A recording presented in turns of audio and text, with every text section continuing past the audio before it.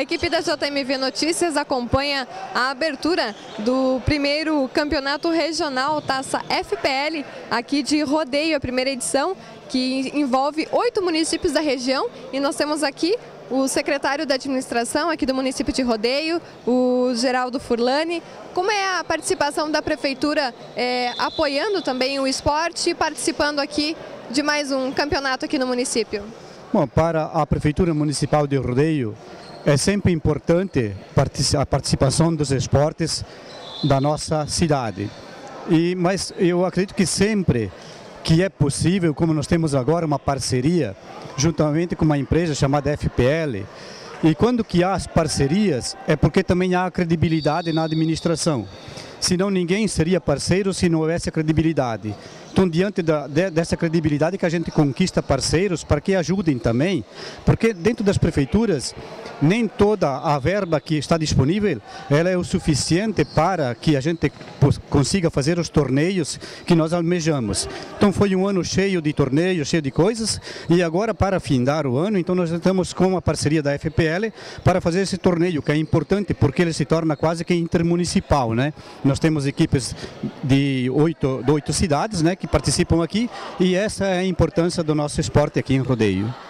Certo. É, finalizando o ano de 2011, é, o senhor como secretário da administração, sempre por dentro também das ações né, aqui no município, temos aí no dia 27 a Noite das Luzes, uma avaliação aí do, do senhor como secretário deste ano 2011 e as perspectivas aí para o ano de 2012. O que podemos esperar para Rodeio? Ah, eu acredito que pode esperar bastante coisas, como que foi 2011, foi um ano, embora nós tenhamos tido, as, digamos assim, não catástrofe, mas as enchentes, onde que dificultaram um pouco o nosso cronograma normal dos nossos trabalhos, eh, diários e também mensais e também do ano, mas a gente conseguiu praticamente cumprir com as metas que nós determinamos. Agora ainda estamos em fase de finalizar calçamento para quatro ou cinco ruas, finalizamos uma ponte no, no bairro São Pedro Velho. E na parte cultural, domingo, então nós temos a, a Noite das Luzes, que praticamente para Rodeio é uma novidade. Então aqui no centro de Rodeio, em frente à prefeitura, a partir das 20 horas, então nós teremos esse grande evento que seria o início do nosso Natal. Então todos convidados a participarem no dia 27, domingo à noite, às 20 horas, aqui na frente da prefeitura. Certo. Atrações culturais, musicais, o que, que a comunidade vai aguardar nessa noite? Ah, isso é tudo é surpresa, né? Então a gente está conclamando porque as pessoas venham, que vai ser uma noite muito agradável. Secretário. Obrigado a você também.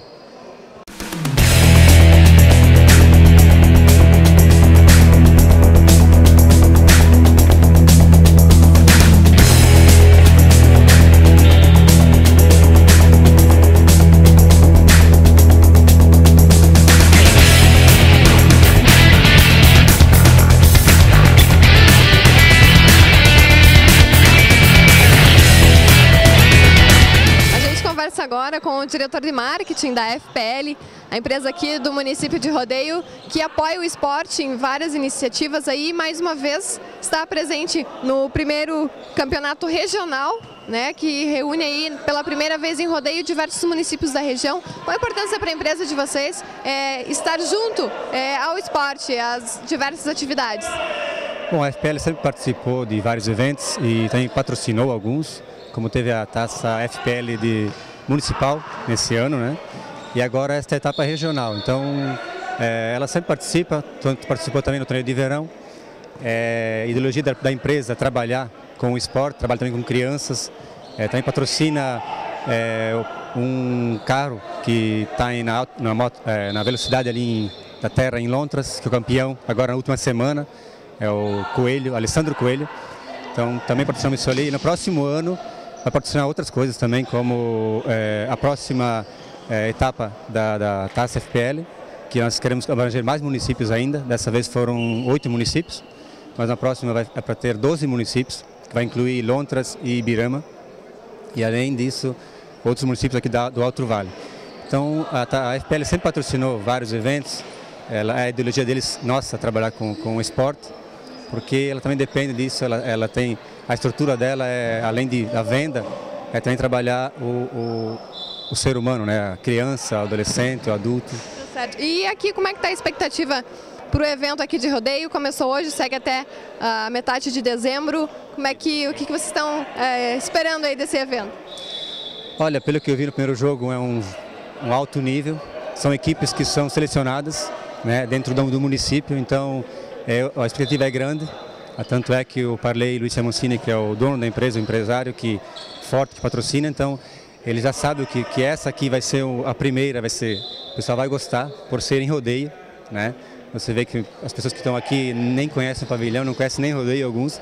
Então, é, nesse ano vai ser muito bom, até com o apoio da mídia, mas no próximo ano a gente vai com certeza ser maior ainda.